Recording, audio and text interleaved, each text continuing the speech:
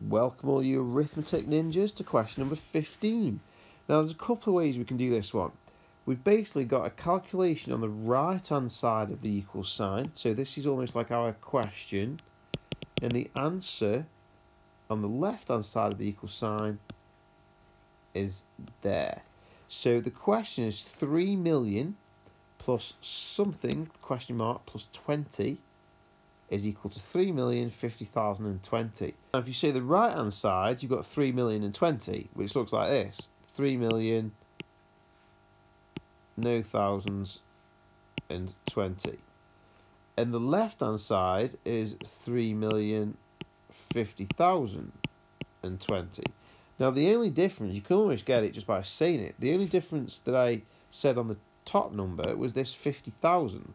So it looks like the answer is just going to be 50,000. Okay, so that is actually the correct answer. So the answer is 50,000. However, if you wanted to check, you could subtract the 3 million and 20 away from the 3 million 50,020 and see what's left. So let's just double check. 0 take 0 is 0. 2 take 2 is 0. 0 take 0 is 0. 0 take 0 is 0. 5 take 0 is 5. And that's our 50,000. Then 0 take 0 is 0. And 3 take 3 is 0.